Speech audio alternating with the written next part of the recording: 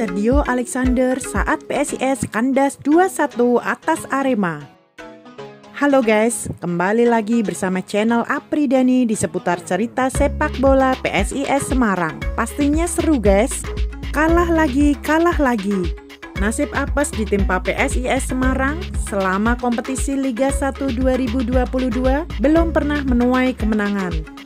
Di laga awal, PSIS hanya mampu curi poin satu atas tim pendatang baru Rans Nusantara. Memang absennya Carlos Fortes sangat berpengaruh besar bagi PSIS.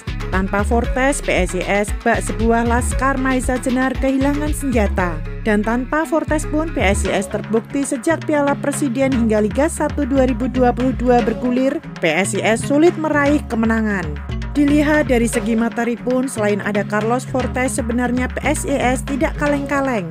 Deretan pemain berpengalaman di Liga 1 menghiasi tim PSIS Semarang, contohnya Wawan Febrianto, Guntur Triaji, Octavianus, Ali Sise, hingga Marukawa. Nah guys, di pertandingan pekan kedua Liga 1 2022-2023, ini PSIS kembali gagal menuai kemenangan. PSIS kandas dramatis dengan skor 2-1 atas Arema FC di Stadion Kajuruhan, Kepanjen Kabupaten Malang, Jawa Timur, Sabtu tanggal 30 Juli 2022. Kekalahan PSIS kali ini menjadi kemenangan pertama Arema FC di Liga 1 2022-2023. Kemenangan atas PSIS mengatrol posisi Arema FC ke peringkat 9 klasmen Liga 1 dengan koleksi 3 poin. Di sisi lain, kekalahan dari Arema FC membuat PSIS Semarang turun ke peringkat 14 klasemen Liga 1 dengan raihan 1 poin. Dengan kekalahan ini tentunya sang pelatihlah yang jadi pertanyaan. Apakah program latihan, penentuan pemain yang masuk line up sudah sesuai dengan arahan pelatih atau sebaliknya?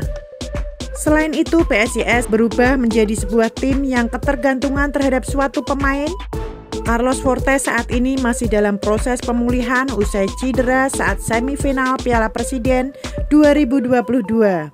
Absennya Carlos Fortes membuat PSIS Semarang seakan kehilangan nyawa di lini serang sehingga beberapa rangkaian PSIS Semarang tanpa Fortes membuat tim ini tumpul.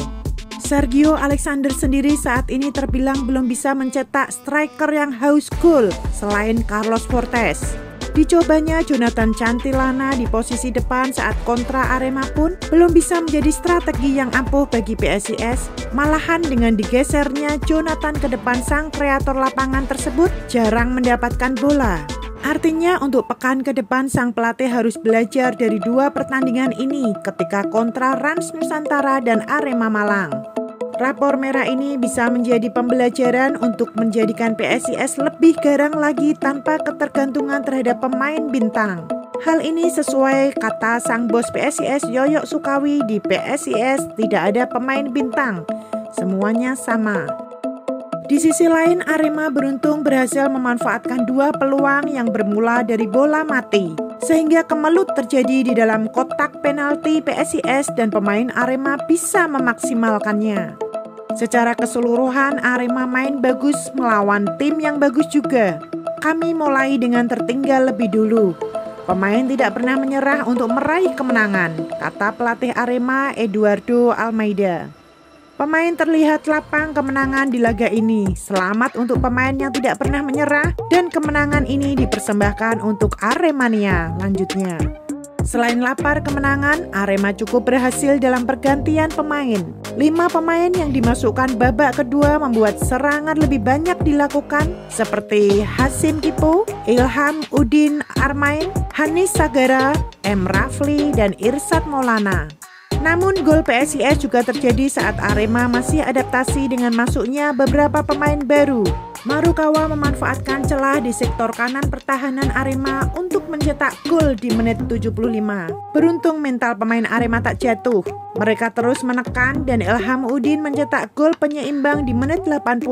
Proses yang hampir sama terjadi di gol kedua yang dicetak Sergio Silva. Para pemain Arema merayakan gol itu layaknya juara sebab mereka bernafsu meraih kemenangan untuk membayar kekalahan telak 0-3 di kandang Borneo FC pekan lalu. Nah, itu guys, informasi tentang rapor merah Sergio Alexander saat PSIS kandas 2-1 atas Arema. Sebuah tim akan menjadi pemenang jika bisa menciptakan semangat kekeluargaan dan kerjasama tim bukan ketergantungan pemain bintang. Maju terus PSIS, yo isoyo PSIS juara. Ikuti terus informasi seputar sepak bola Indonesia hanya di channel Apridani. Masih banyak berita yang lain loh guys seputar PSIS Semarang yang masih akan kita bahas.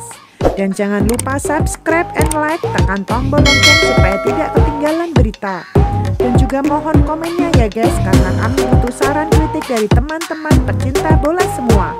Salam olahraga, PSIS bisa.